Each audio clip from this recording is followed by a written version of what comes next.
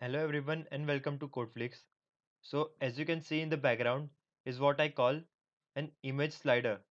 So this is an image slider and as you can see here are the three buttons here. If you click on that then also the image will slide and it will slide automatically also if you want to slide it automatically. So today we will be making this kind of slider and this slider is responsive also. So if I want to show you about the responsiveness I'll minimize this. And so as you can see this is responsive.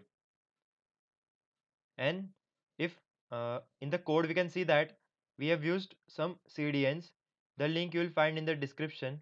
And then as you can see in the demo if I maximize this there is some gap here. So if you don't want this gap then you can do one thing in the code. Here is the container class. So you can comment this I'll go to the below. I'll comment this division also.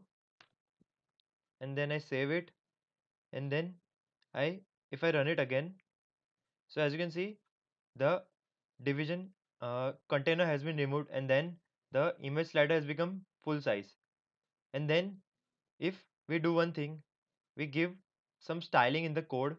So if I take this I have mentioned this class and then I give some height. Let's say 750 pixels. And I make it important because we have used bootstrap. So we will be making this with bootstrap and then I save and run it again.